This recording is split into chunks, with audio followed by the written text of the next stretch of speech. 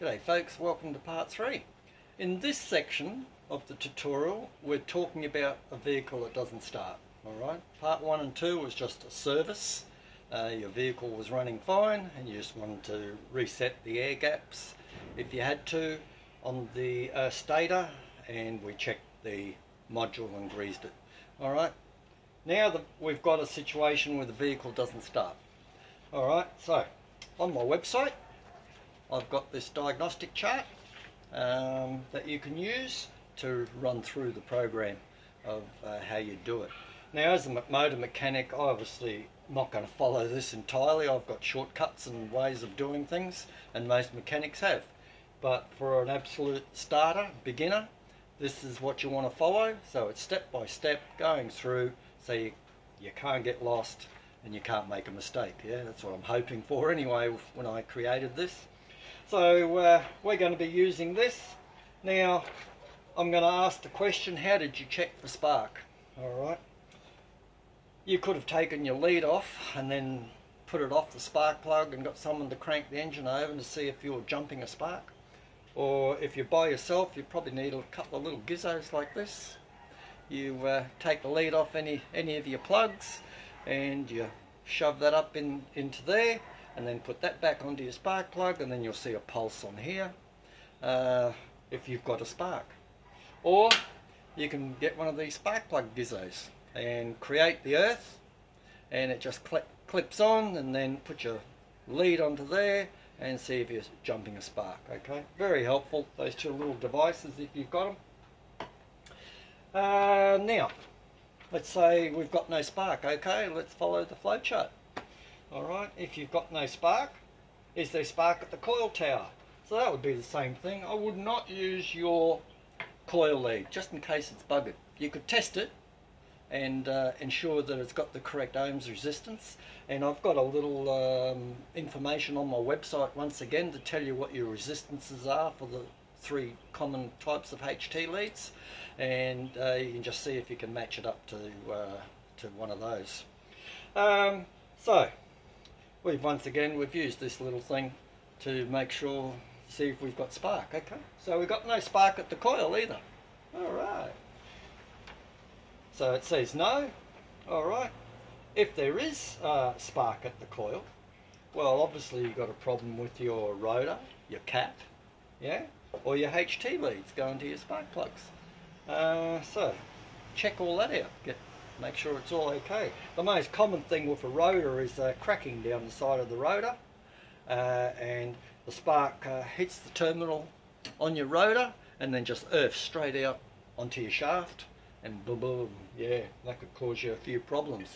Being electronic ignition too that could damage your module and it could damage your coil as well.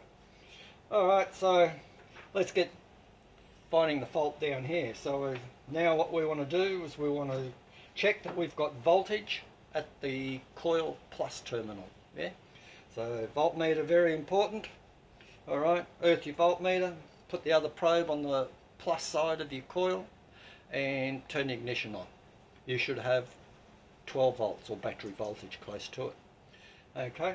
So if we've got that and it says yes, not a problem. If it's no, you're going to have to check the wiring uh, going to your coil. Pretty easy. So now the test light pulse on the negative side coil. Alright, so let's see if it's pulsing. So you put the probe now on the negative side and this is where a, a lead light comes in real handy. You'll put that on the negative side of the coil and that light will pulse. Alright, so uh, I've got a little short snippet there that's going to, this way, it's going to come up and it'll show you what that looks like when the engine's cranking. That's on another vehicle, Mitsubishi, that's got electronic ignition, and you'll see the pulse. Alright, so if we don't have a pulse, what's the problem? Okay, better check your distributor's turning, yeah? Take, you've got your cap off, presumably. Now remember, if this is in the car, remember that clip uh, falling in? Uh-oh, you will just break your trigger wheel, the locating pin, and it'll go all out of phase, and then you'll be in for a, a bit of strife there. So uh, don't do that. shove something in there positive that's going to keep these clips away from dropping in like it is now. Alright? Uh, where do we get up to? Yeah, if the distributor's not turning, obviously you've broken your drive gear on your distributor or you've broken a camshaft gear or something like that. So you want to check those out. Uh, that's a bit bigger job than what you thought. Alright, so we've gone yes, is the distributor turning, remove the module cover, okay, we've done that. Um, and uh, we're going to be checking now, here we go. We're going to be checking for voltage at the terminal down here at the module itself. We've checked it at the coil, we've got it, now we're going to check it down here. What if we haven't got it? Well then you replace the low tension lead, yeah? Let's check for pulse on terminal 16 of the ignition module. Has it got a pulse? If it has, replace it, your lead once again because that pulse isn't getting up to the coil. So it's got to travel through these wires. So you'll throw away your low tension lead. Alright, so we haven't got a pulse down there. Cool. What are we going to check now? Well, if we follow my flowchart, it should be, uh, does it pulse? Yeah, yeah, pickup coil. Test the pickup coil, yeah? That's an easy one.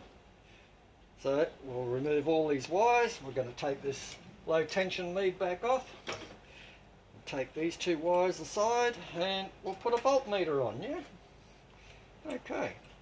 Now this is a pulse generator, as I've said before, so it's going to, going to output a voltage. Make sure that nothing is touching metal, alright? And in your case, if it's still in the car, you'll be uh, cranking the motor over. Once again, watch those clips. Uh, but for me, in here you can see I'm pulsing on the voltmeter alright so as far as I'm concerned that's working fine now you can do a resistance check on this there is a resistance value for that and let's have a look at it we'll flick over to ohms should be somewhere around 1.1 uh, K. Yeah 1.12 so beautiful. The resistance is fine. Now don't touch these two when you're spinning anything because because they produce a voltage it can be high it's an alternating voltage. All right so uh, if you spin it really fast yeah you'll get the everything happening on the voltmeter and uh, you may get a, a, little bit of a kick if you put, your fingers in there now I have found another test that we could use an LED test light to check this and I am doubting very much it would come up on camera, but let's give it a go. Let's take this back off. We've now proved that uh, the stator and pickup coil all work fine. So, what do we got? It's got to be the module, yeah? Alright, let's put that on there. Let's get that on there, and I do believe I'm going to have to probably wind this over fairly fast to get any sort of a voltage happening on this lead light. Let's see if we can get it to to do anything. Don't know if we can see it. Oh look! Bang! Oh boy, you can get caught out. Oh yes, look. See the lead light pulsing? Can you see that on the camera? Beautiful.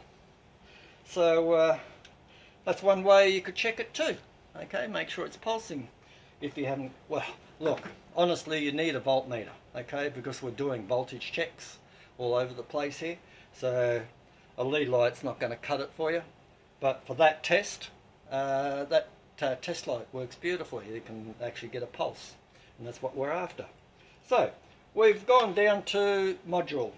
Okay we've tested the pickup coil. Is the pickup coil pulsing? No replace it if you can get them uh, yes, just go straight to replace the module. Alright, that's the only thing it can be. Or a bad earth. And that ends up coming in here, check the earthing if you still haven't got a spark. Alright, so that's very handy to have for your novices. And I think I've pretty well covered how to test um, the pickup coil. Now look, at this point what's the point of checking the module? Yeah, we've proved that it's got to be the module.